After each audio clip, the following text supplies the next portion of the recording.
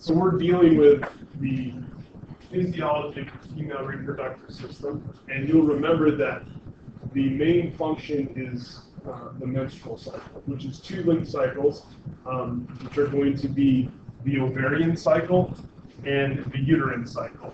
And the ovarian cycle is what's happening in the ovary, the uterine cycle is what's happening in the uterus, and it's basically this process of preparing an egg to be fertilized from released from the uh, ovary, and then the uterus being prepared to accept that egg if it is fertilized with a nice, comfortable home for the baby to grow up. It's all controlled by hormones. And remember that uh, right at the end of class last time we discussed those uh, four major hormones, and as those levels, the physiological levels of those hormones change, we have a response of both the ovaries and of the uterus, in particular the uterine lining, which is called the endometrium. So I want to pick up today and start out just looking at the ovarian cycle. So just remember that when we're dealing with the menstrual cycle, it's these two late cycles. But we're going to look at them each individually. Just in your mind, recognize that they are occurring simultaneously through um, that 28-day average progression. So the ovarian cycle is what's going on inside of the ovary. Now, the way that we model this, whenever we show pictures of what's going on inside the ovary, we put everything together sort of in this cyclical pattern that goes around the ovary. But that's not really the way that it would happen. There would be, you know, hundreds of thousands of different cells inside of the ovary making up the ovary itself. And we're going to have cells in that are primordial follicles. And those are salt and pepper spread throughout the, the ovary. And a couple of these primordial follicles are going to be targeted every 28 days to begin to go through this maturation process. And wherever they're located physically in the ovary, you're going to see all of these different structures in that single spot. So if I were to take 28 pictures of the ovary and the follicle was, was located right here, every single one of these structures would occur right in that general location. So it's not actually circling around the ovary. That's just the easiest way to model this in a, in a picture. So the ovarian cycle is really focused on the growth, the maturation, and the release of an oocyte. And that term oocyte or oocytes, this is the reference to that cell, the ovum, that is going to be available to fertilize. So at birth, when a little girl is born, the ovaries individually have about 1 million of these primary oocytes present per ovary. So collectively within within both ovaries, about 2 million. So about 1 million of these primary oocytes per ovary. And the primary oocyte can also kind of be referred to here as that primordial follicle. This 1 million is going to be the absolute maximum. So at birth, those million oocytes are going to be the most that can ever exist, and no more are going to be produced. Which is pretty crazy when you think about it, because basically all of the oocytes are present at the point of birth. And actually what we're going to see is we have progression from a million towards less um, during the lifetime of an individual, of, a female. The uh, primary oocyte is going to be formed by meiosis, and it's going to make it through meiosis 1. So it goes through uh, first the stages of mitosis so that we increase these germ cells, uh, increase the germline, the cells that are present in the ovary. And then eventually we get to a point where we have some of these cells differentiate and begin to go through meiosis. But they're just going to go through that first half of meiosis. So they're not going to go through the second half. So these cells are still going to have 46 chromosomes. During that second half, meiosis 2, where those 46 chromosomes between, become 23 if we're talking about humans. So they sort of get into this state of uh, suspended animation, so to speak, where they're stuck in meiosis one right at that point of birth. In fact, the term that we use here to describe that suspended animation is called G0. You'll remember that the cell cycle is made up of G1, S, G2, and M. We halt them in this G0 like state where there's growth that's occurring and we're still metabolizing, collecting raw nutrients and things like that, but it's in a halted state. And we're going to remain in that halted state until we reach puberty. So this is roughly 8, 9, 10, 11, 12 years old. And during that time, that million or so per ovary primary oocytes are going to have gone through some pretty significant changes. So at puberty, those 10 years or so, a lot of, and in fact, it's about 70% of those primary oocytes that existed at birth are going to have gone through reabsorption. So even before we get to puberty,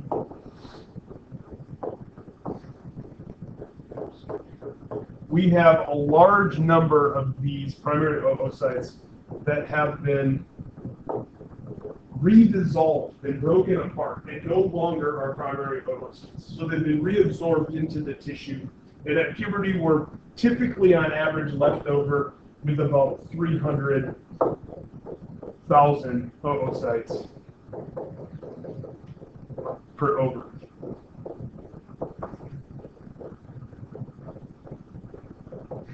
Okay, so we have about 300,000 that are now available.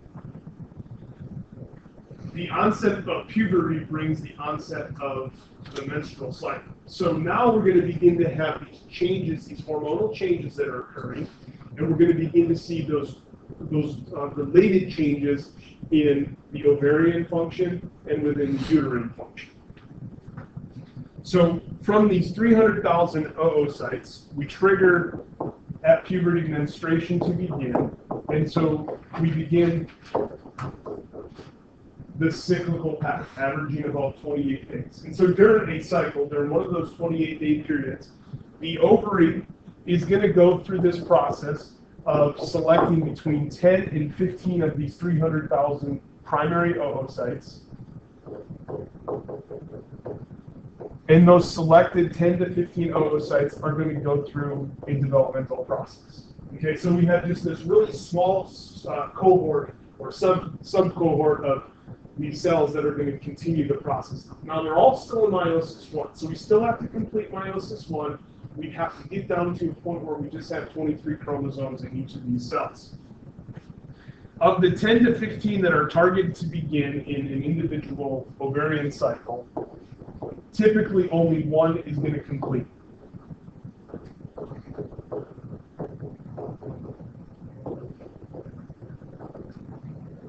So only one of these 10 to 15 will complete the cycle. And so if you kind of go, do, go through and do the math, from puberty to menopause, the average, the average individual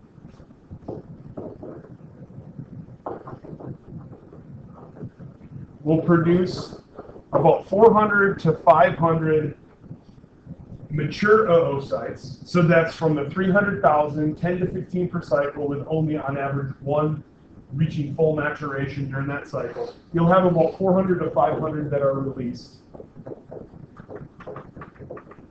during that time period between puberty and menopause, what I'm going to refer to as reproductive years.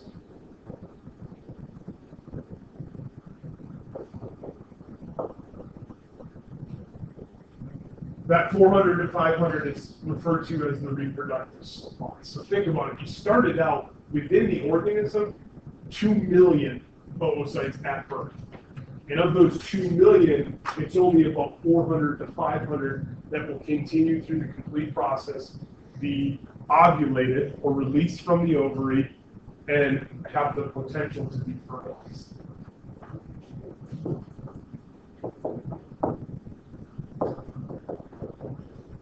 So let's talk a little bit about that process. So starting from the primary oocyte itself, what you will see is when that primary oocyte, so here's our primordial follicle. Inside of that primordial follicle is our primary oocyte. So the follicle includes both the ovum, that primary oocyte, and then these support cells.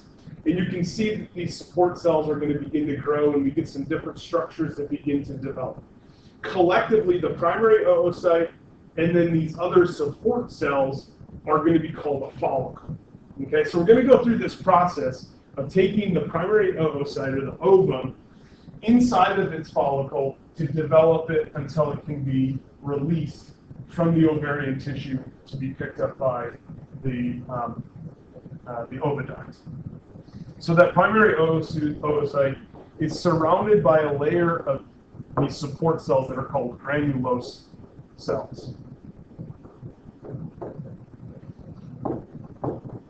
So we have granulosa cells that help to support that one individual primary oocyte. And uh, again, if this is the beginning of a cycle, we have 10 to 15 of these follicles that are going through the developmental process, that are beginning the developmental process. But only one typically is going to outcompete the other 14 to become the one follicle that completely develops.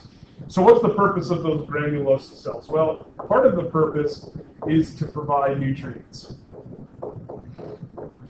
So these are the cells that help to support nutritionally the developing oocyte or the ovum as we go through the rest of this process. So again, collectively,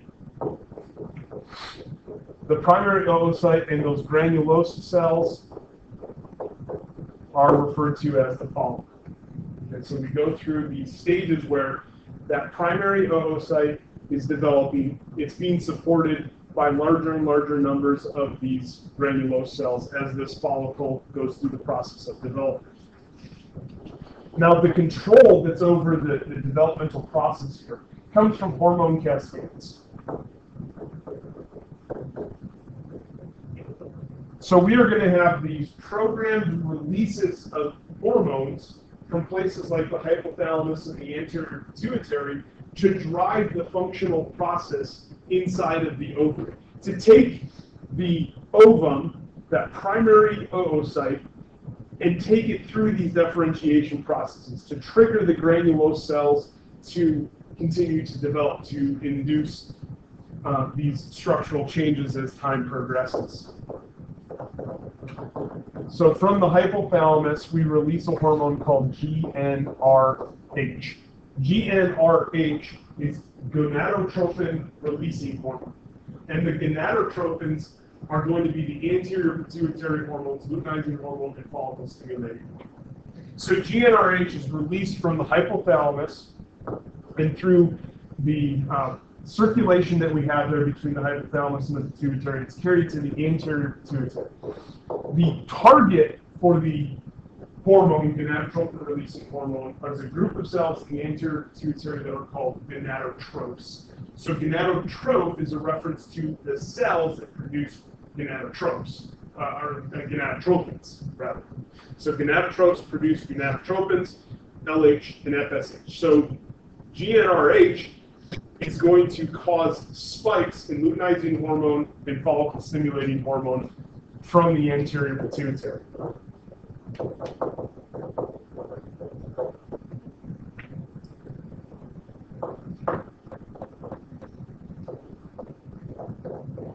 Now remember that the hypothalamus, in the presence of estrogen during fetal development, the hypothalamus is masculinized, right? And we get these really um, pulsatile peaks. If estrogen isn't allowed to masculinize the hypothalamus, the hypothalamus becomes cyclical. And so we have this natural occurrence of GnRH spiking about every 28 days on average. And this drives the rest of the process. And if I take us back just one picture here, you can see that LH and FSH, which are responding from the anterior pituitary in the presence of GnRH, at about day 14, they're going to begin to go through these spikes. But you also have these slight elevations here, some little smaller peaks that are occurring from days 1 up until 14. So if you're kind of keeping track of what's going on with the hormones, what you're seeing is that we have some elevation. It's, it's much higher over here than it is over here. So we sort of have this increasing creep in LH and FSH hormone levels, responding to the release of GnRH because GnRH is on a cyclical program. And as those hormone levels begin to increase, you can see that there are changes that are beginning to occur here in the ovaries. So this is these are the, the pictures that you're, you're seeing basically wrapped around here.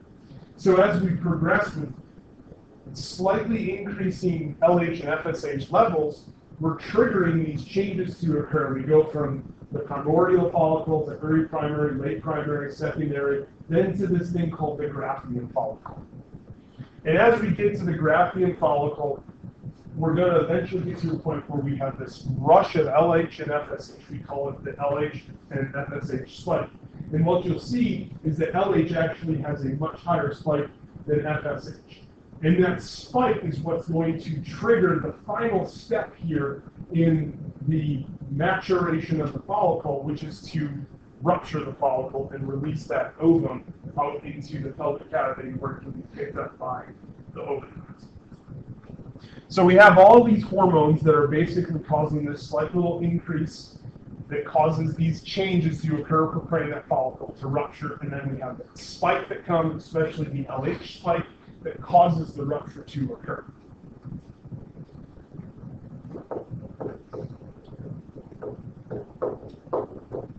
So this is all going to cause the follicle to go through these prep stages on its way to ovulation.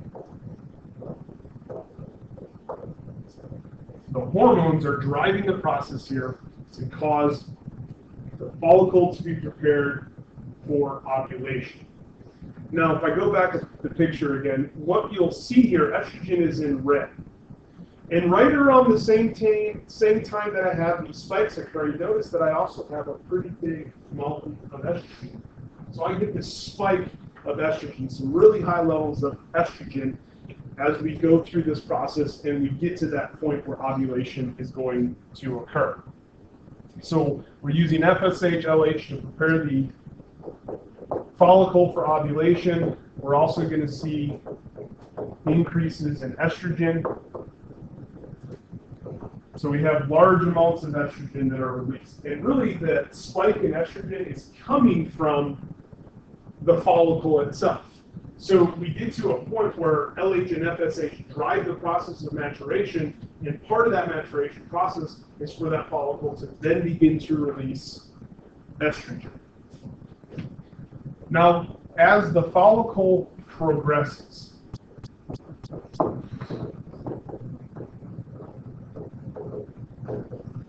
and those granulosa cells continue to develop and we get more of those granulosa cells, they begin to release a substance that's made up of glycoproteins.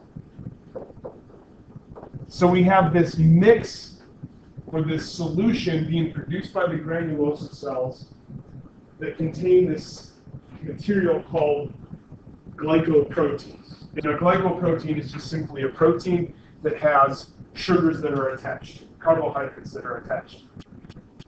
And so what happens here is we begin to form this uh, um, this um, atrium or antrum inside of that follicle. So we have this open space.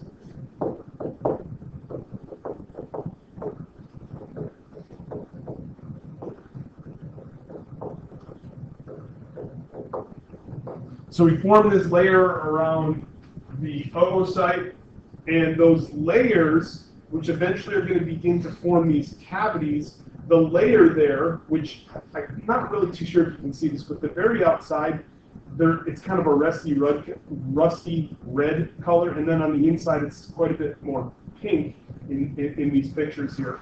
And that that inside there, the, the pinker color, is called the zona pellucida.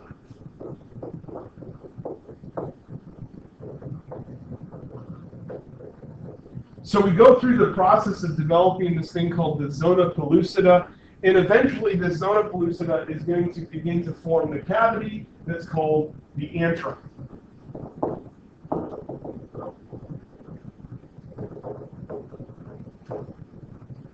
So the antrum begins to develop, and, and as this all unfolds, this space begins to fill up with fluid.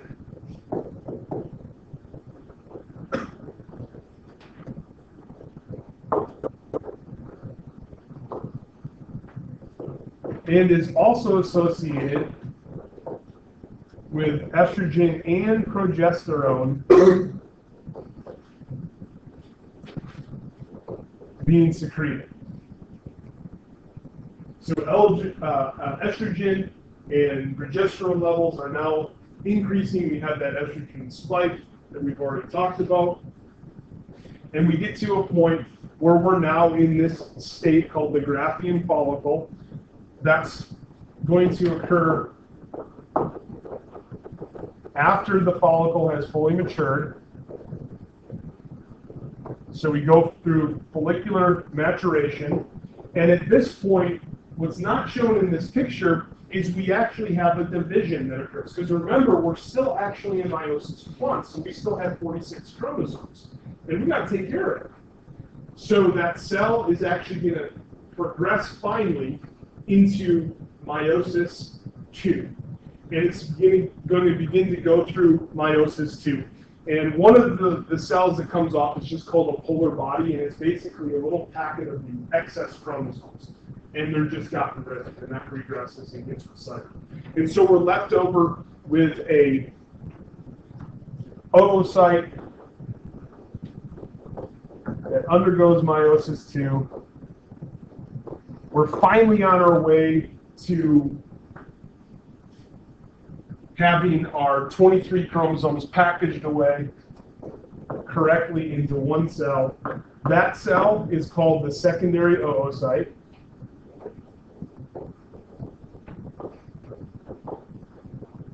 Okay, so we have the secondary oocyte, and then the, the waste chromosomes, or the chromosomes that are just kind of being sloughed off so that we're left over with just 23, is a smaller cell, physical size smaller, called a polar body.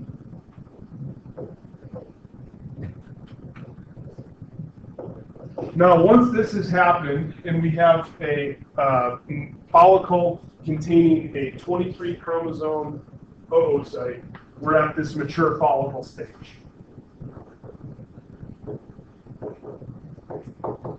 And that mature follicle is referred to as the Graafian follicle.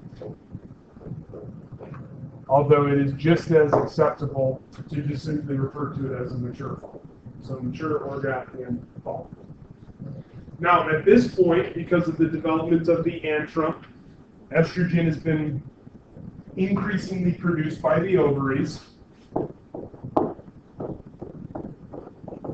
So now estrogen levels are up pretty high.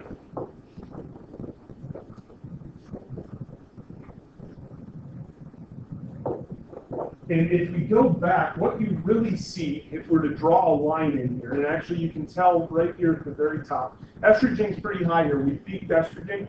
It actually peaks just slightly before the peak that we observed there with luteinizing hormone and follicle stimulating.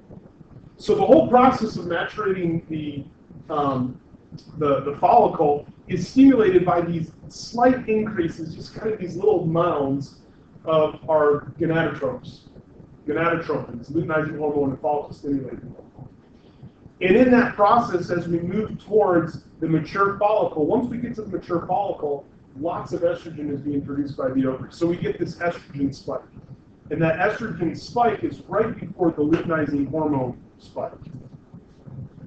So with those estrogen levels that are up pretty high, estrogen circulates back onto the pituitary to stimulate the pituitary out of its just sort of slowly increasing LH production to spike LH, to, to jack a bunch of LH into the bloodstream, all in a short amount of time.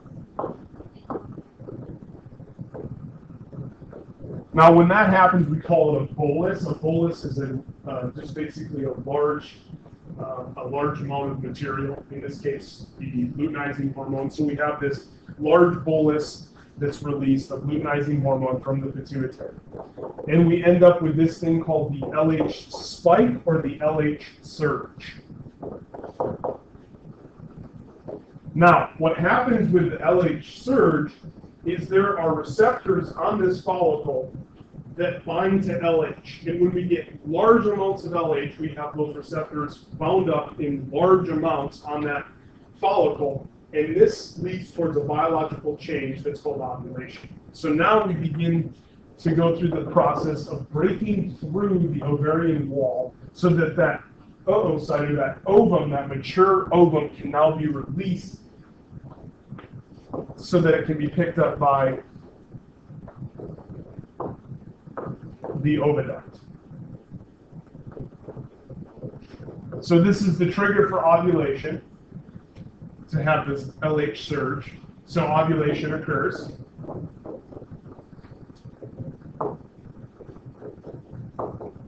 And what happens with ovulation is our second, we have just a bunch of material that gets released as that follicle ruptures and breaks through the ovarian wall. So we have the secondary oocyte, that smaller polar body, those cells that make up the zona pellucida,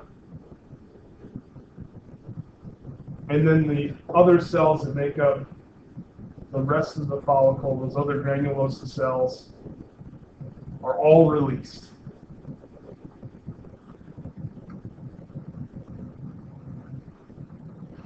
and they're released into the surrounding tissue, which is basically set up here in the pelvic cavity, very close proximity to the opening into the oviduct. So we end up delivering this material, including, importantly, that secondary oocyte, into the extracellular fluid and nearby to that oviduct.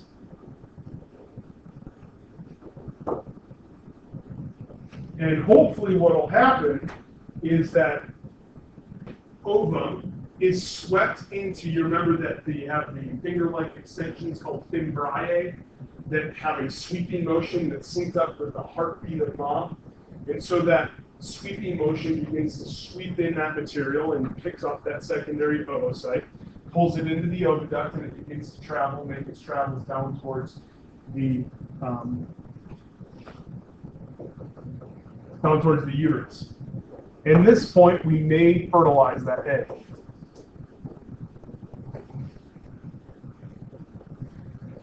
Now, up to this point, we would have been in the very end stages of meiosis. So we aren't completely done with meiosis two, we're almost done. If we are fertilized, it's the fertilization that causes the completion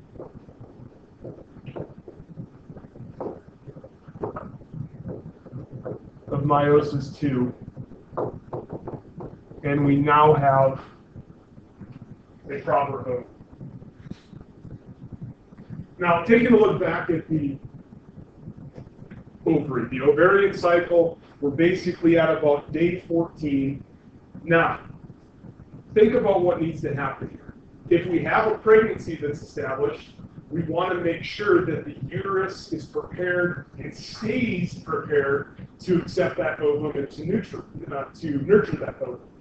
If it's not, then we want to go through and repeat the cycle. So what actually happens is related to the scar tissue that's left over from the rupturing of the follicle. There's a bunch of stuff that we just released, right? And I listed all of that. So all that material gets gets released, and you're left over basically with a scar.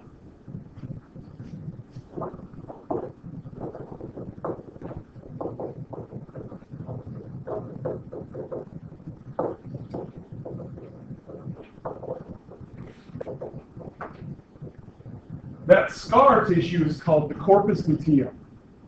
So the ruptured follicle breaks through the ovarian wall, and we're left over with this scar tissue called the corpus luteum.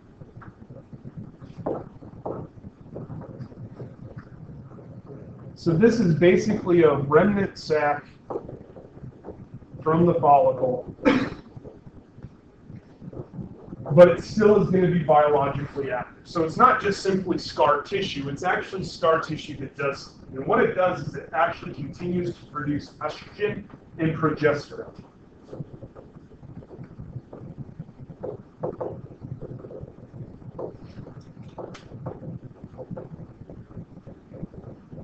Okay, so estrogen and progesterone continue to be produced. So what you'll see is you have ovulation, and then you begin to go through and form the corpus luteum. And as we form the corpus luteum, both progesterone here in green and estrogen here in red have another hill that's built. So much higher levels of estrogen are going to continue, much higher levels of progesterone are going to continue as we progress through these luteal stages, these corpus luteum structures. Now that estrogen and progesterone that's released from the corpus luteum is actually going to continue to aid in the uterine cycle. The uterine cycle is the second phase of this process here. So we're going to aid in preparation of the uterus. We're going to help to progress with our estrogen and our progesterone, help to progress that uterine cycle. And this is really important, right? Because we want the uterus to be maintained to be thick and healthy in a nurturing environment if fertilization actually happens. So estrogen, progesterone levels continue, the uterus continues to stay in its nutritive state. In addition, the estrogen and progesterone inhibit FSH. Now, as we inhibit FSH, FSH levels are going to drop. FSH is what triggers follicles to mature. So remember, we had 10 to 15 primordial follicles that begin to go through this process, but only one typically is going to make it. FSH is the signal that basically says, let's mature, let's mature. So we have one of those follicles that matures faster than all of the rest. And as it goes through that maturation process and it ruptures, the others are actually still developing, but they haven't developed as quickly as this what's called the um, what's called the primary follicle.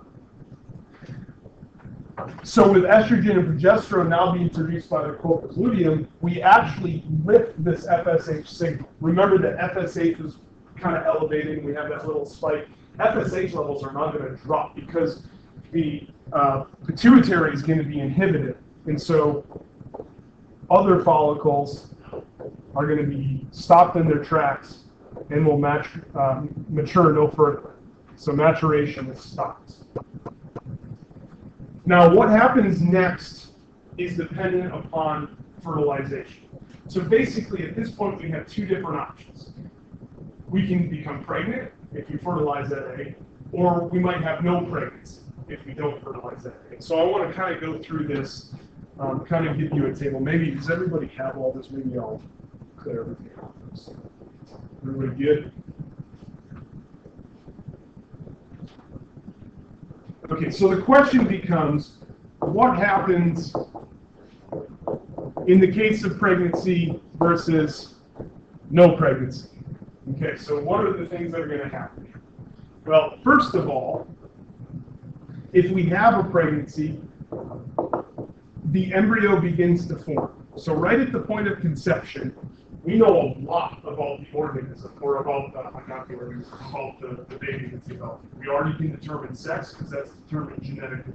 We've already targeted this uh, this individual to become male or female. We're targeting the organs to begin to develop. This process begins to occur, occur immediately. So this embryo begins to develop new tissues. One of the tissues that's going to be developed is a tissue called chorion.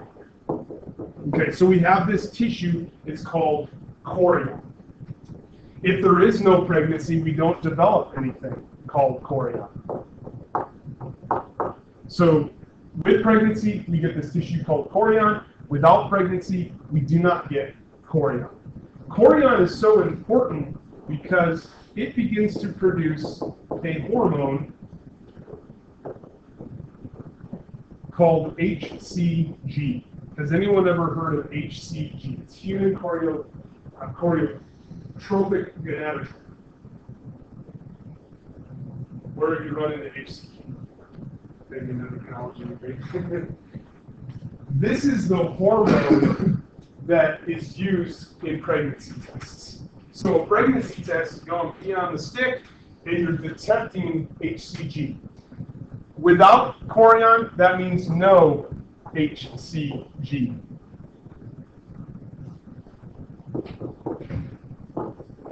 If we have HCG, what happens is HCG, not only do we pick it up in the urine, but it comes in, it actually targets to the corpus luteum. So remember, what's the corpus luteum doing? It's producing estrogen and progesterone. So we're going to go through this process centered around HCG, where that hormone is going to be used to rescue rescue the corpus luteum.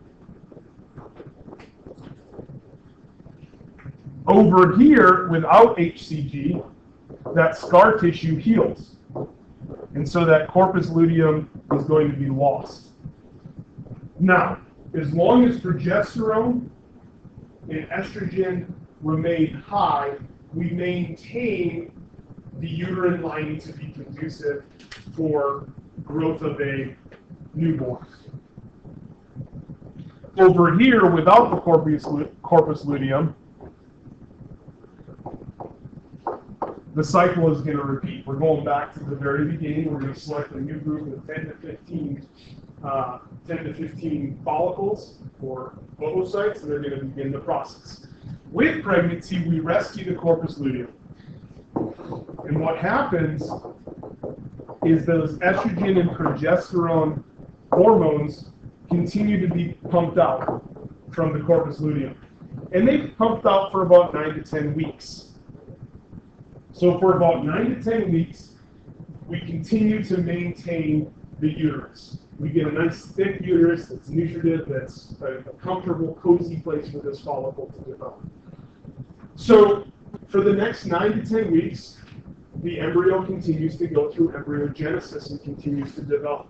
We have new tissues that develop. One of the tissues that develops is the placenta. The placenta is pretty much fully formed by 10 weeks. And after that 10, 9 to 10 week time period, the placenta takes over production of progesterone.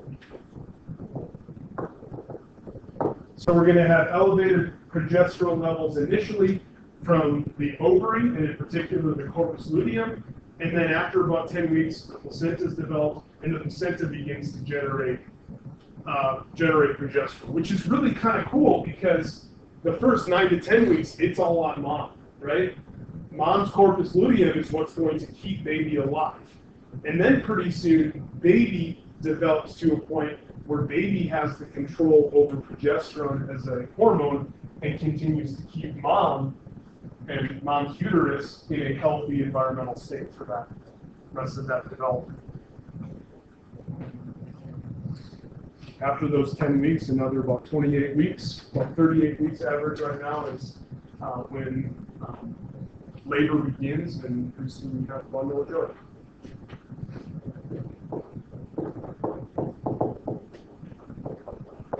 All right, so let's take a look at the uterine cycle. Remember that the uterine cycle is what's going on inside of the uterus. And this is happening alongside or in concert with the ovaries, or the ovarian cycle.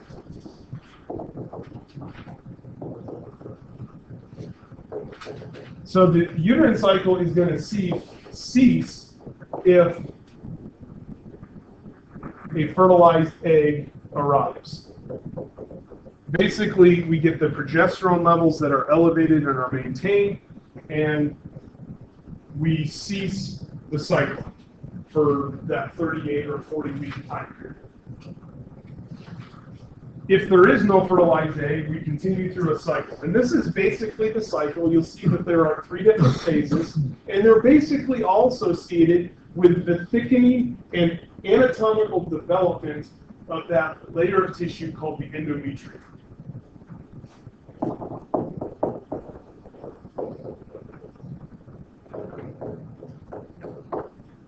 So we have the three phases. The first phase is the menstrual phase. And the menstrual phase typically lasts from days 1 to day 5. So here's day 1 down here. Here's day 28 up here. So days 1 to day 5 on average. Now, what happens from day 1 to day 5, if there is no fertilized egg, we continue on the uterine cycle. Again, if there is fertilized egg, we basically maintain the stiffened lining for a prolonged period of time because that's what's supporting fetal uh, embryogenic development. So with no fertilized egg, we're going to have estrogen and progesterone levels drop. So they're going to begin to decline. And it's those estrogen and progesterone levels that are required to maintain a thickened endometrium.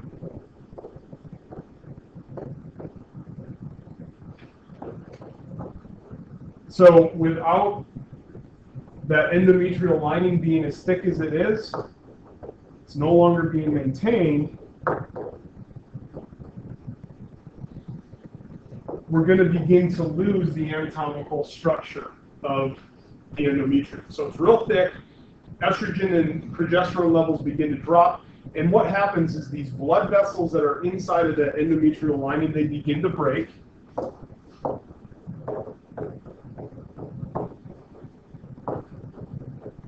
So the blood vessels begin to burst. And as those blood vessels burst, it no longer maintains the other cells in the endometrium. And so the blood and those cells begin to be sloughed.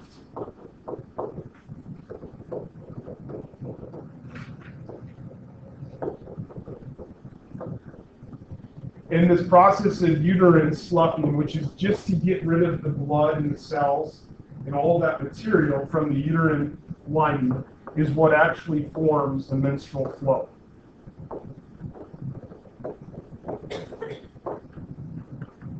Okay, so for the first five days called the menstrual phase, this is the menstrual flow. And menstrual flow should incrementally decrease in the amount of material that's being sloughed from the uterus, and on about day five, menstrual flow should stop, and we'll move into the second phase, which is the proliferative phase.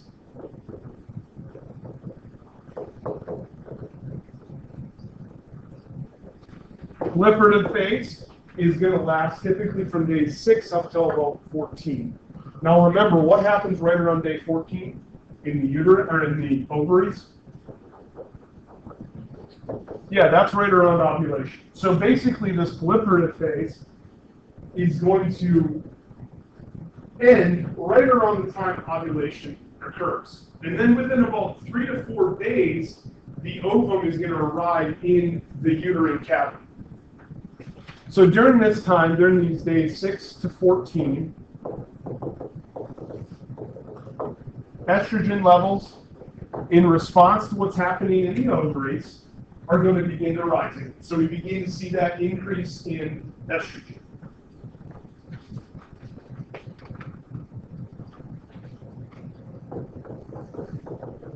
Again, coming from the ovary and in particular coming from the developing follicle itself.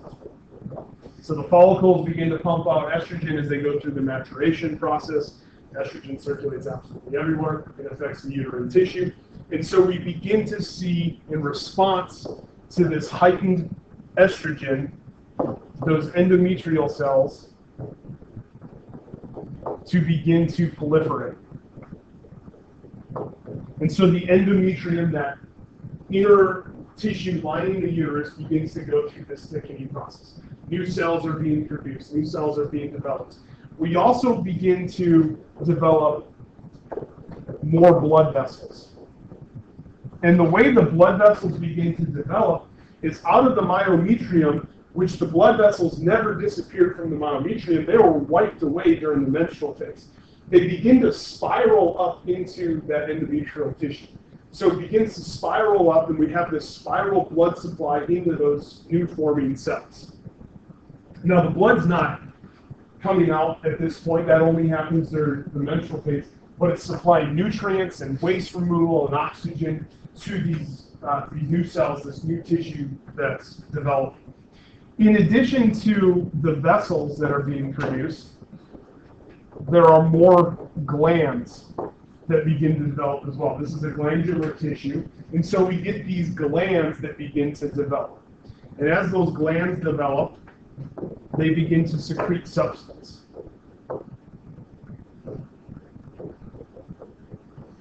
And that secreted fluid is going to aid with lubrication.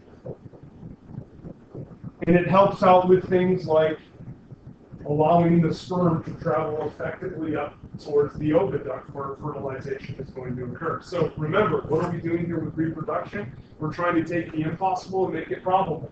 So this is another point where we see that probability increasing. Now, at the end of this proliferative stage, this is right around day number 14, ovulation occurs. So the ovary, we're going to have that rupture. Ovum is going to be released, swept into the oviduct. We're going to continue the ovarian cycle. Fertilization may, may happen. And then here, days basically 15 up to 28, from middle cycle to the end of the cycle, we're going to have our final stage before we head back into the menstrual phase. And this will be the secretory phase. Now, that secretory phase is going to be the phase in which implantation occurs. And what do I need to do if implantation occurs? I need to provide a conducive environment for that fertilized egg to survive and to grow and to flourish. So during the secretory phase, we're basically creating a positive environment, a healthy environment for that ovum. By this point, we have our corpus luteum that's been formed, that scar tissue left over from ovulation, and it's producing estrogen and progesterone. So we have estrogen and progesterone being produced in higher levels. Go back just a couple pages here. You can see that we now have that thickened um, tissue here during the secretory phase, and we have those second mounds of estrogen and progesterone as they've increased inside of the bloodstream.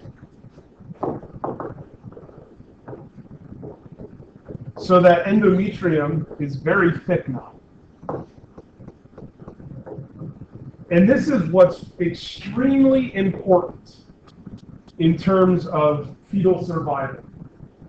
We're talking something on the order of about 15 millimeters of thickness. If you get anywhere below 5, it's no longer conducive. It's actually called a hostile uterine environment. And by the way, just a little side note here, if you use birth, control, everybody's like, oh, it reduces my menstrual flow, it doesn't take as long, and all of this, all of these great things. The reason is because it makes a hostile uterine environment. And that's one of the effects of birth control that they don't ever really talk about, but it prevents implantation. So even if the egg is fertilized, even if you have conception, if you use birth control, you don't have a uterine environment that can that can actually support that developing egg. And that's why we call them abortifacients, because they actually will induce loss of a pregnancy, a viable pregnancy, if they're uh, if they're used um, as, a, as a birth control method. So we need that very thick endometrial lining, very, very important. Those glands are going to secrete a glycoprotein mix, which we've already hit on with the ovaries, and that glycoprotein mix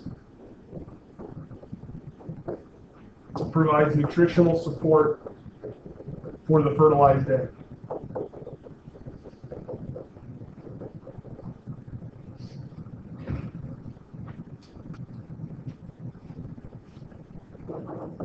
Now, the last thing that had happened, so we would continue to have these elevated levels of uh, endometrial thickness if pregnancy occurs. The last thing that will happen if pregnancy occurs is remember we have a cervical opening that leads into the vaginal canal, right? And that's basically an open pathway from the external environment. We go through the vaginal orifice into the vaginal cavity and then to the cervix. So it's good if we sort of block the cervix. So what happens is, is cervical diameter decreases and, and there's sort of a thickened mucus that gets layered over, um, over the cervical opening.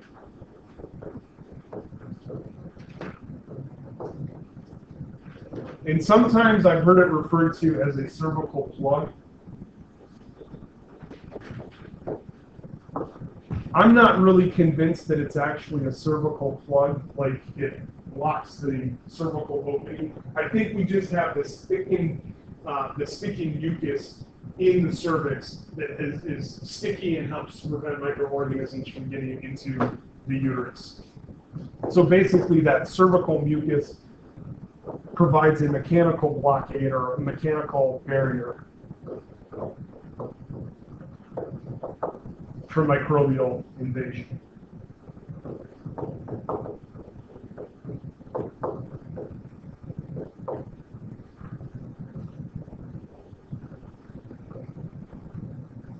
This video.